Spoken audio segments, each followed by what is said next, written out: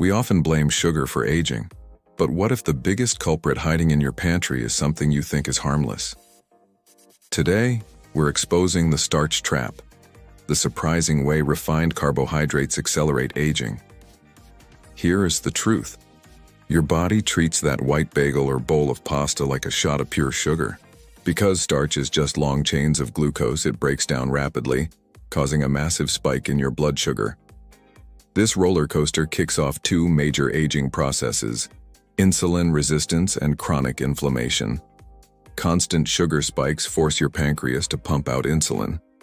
Over time, your cells become desensitized, leading to chronic high blood sugar and cellular breakdown.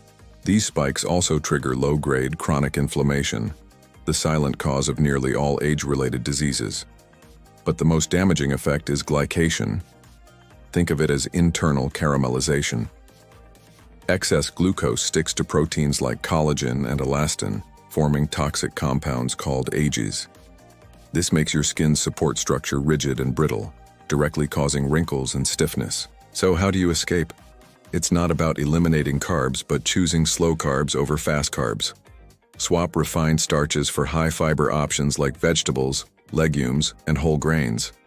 They release glucose slowly, keeping your blood sugar steady. Stop feeding the aging process with rapid starch and start fueling your longevity.